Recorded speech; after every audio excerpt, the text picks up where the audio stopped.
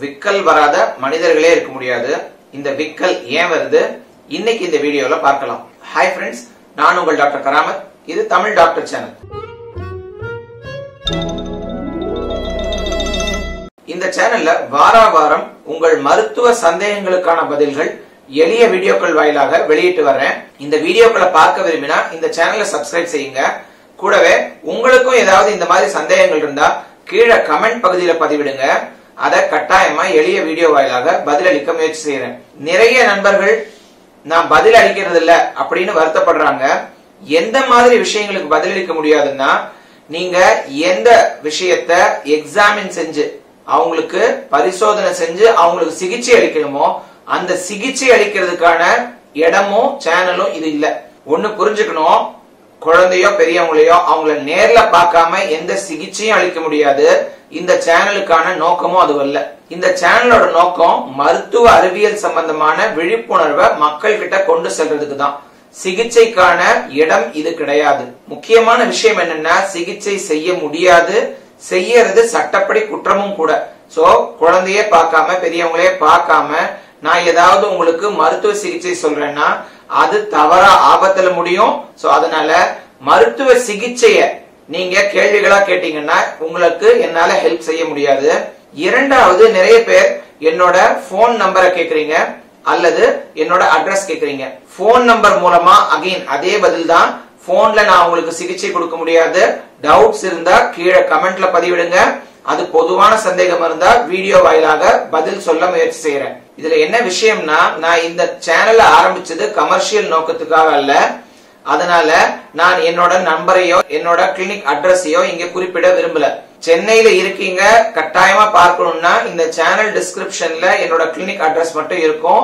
நேர்ல வந்து பேஷண்ட் அவங்கள கூட்டிட்டு வந்து சிகிச்சைக்காக வந்தோம்னா அப்ப சிகிச்சை அளிக்கிறதுலயோ உங்க சந்தேகங்களுக்கு பதில் சொல்றதோ முடியும்.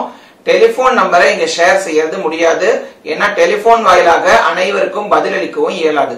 மற்றபடிக்கு பொதுவான மருத்துவ சந்தேகங்கள் குறித்தான கேள்விகள் கட்டாயம் வரவேற்கப்படுகின்றன. அதற்கான பதில்கள் அனைவருக்கும் பலனளிக்கும் விதமாக எளிய வீடியோல கட்டாயமாக வெளியிடுறேன். இன்னைக்கு நம்ம பார்க்க போற விளக்கம் விக்கல் பற்றியது. விக்கல் அப்படிங்கிறது நம்ம எல்லாருமே அனுபவிச்சிருப்போம். இப்படி விக்கல் தான் என்ன? இது ஒரு involuntary muscle contraction of diaphragm அப்படின்னு சொல்றோம். அப்படின்னா என்ன?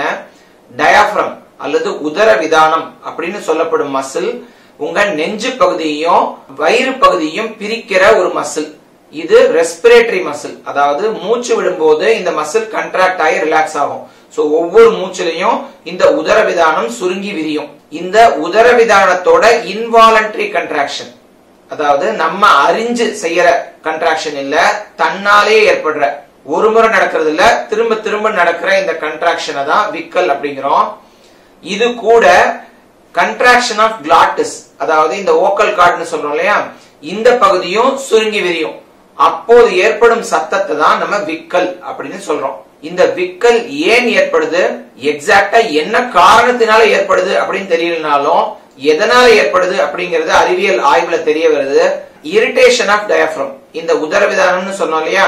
அது இரிட்டேட் ஆகும் போதோ அல்லது இந்த உதரவிதானத்துக்கு சப்ளை பண்ற நரம்பு மண்டலம் இருக்கு இல்லையா? சோ மேல மூளையில ஒரு ஏரியா இந்த உதரவிதானம் டயாஃப்ரம் கண்ட்ராக்ட் ஆகிறதுக்காக ஒரு ஏரியா இருக்கும். அங்க ஏதாவது இரிட்டேஷன் இருந்தாலும் இந்த விக்கல் ஏற்படும் அப்படின்னு பாக்குறோம் நார்மலா என்ன காரணங்கள்னால விக்கல் நடக்கும்? சாப்பிட்டுட்டு இருக்கும் போது விக்கல் நடக்கலாம். வயிறு உபுசம் வயிறு உபி இருக்கு அப்படின்னு சொல்லுவாங்க. ப்ளோட்டட் ஸ்டமக் அந்த சமயத்துல விக்கல் ஏற்படலாம். பெரியவங்கள மது அருந்துதல் அது விக்கலை உண்டாக்கலாம். ரொம்ப சூடான அல்லது ரொம்ப காரமான பானங்கள் பருகும் போது அது இந்த உதரவிதானத்தை இரிட்டேட் பண்ணி அதனால விக்கல் உண்டாகலாம். சோ இந்த விக்கல்லாம் ஏதாவது பிரச்சனையா? சாதாரணமா எளிய முறையில வர இந்த விக்கல் எதுவும் பிரச்சனை செய்யாது. கொஞ்ச நேரத்துல தன்னாலேயே நின்னு போகும். அப்போ ஏன் இந்த விக்கலை பத்தி தெரிஞ்சுக்கணும்? விக்கல் ரேரா ரெண்டு மூன்று நாளைக்கும் மேல நீடிக்கலாம். அப்படி நீடிக்கும் போது அதற்கான காரணம் என்னன்னு மருத்துவ ரீதியா அறிஞ்சுக்கணும். ஏன்னா அதற்கு காரணம் எளிய அசிடிட்டி மாதிரி சாதாரண காரணங்கள் சிம்பிள் சிகிச்சையில சரியாகலாம். ரொம்ப ரேரா மூளையில ஏதாவது பாதிப்புகள் இருந்தா கூட இந்த விக்கல் தொடர்ந்து ஏற்பட்டுக்கிட்டே இருக்கலாம். சோ அப்போ விக்கல் வந்து நின்னு போனா ஒரு பிரச்சனையும் கிடையாது. விக்கல் ரெண்டு மூன்று நாட்களுக்கு மேல இருந்தா மருத்துவர் அணுகணும். என்ன காரணம்ங்கிறத தெரிஞ்சு சிகிச்சை செஞ்சுக்கணும்.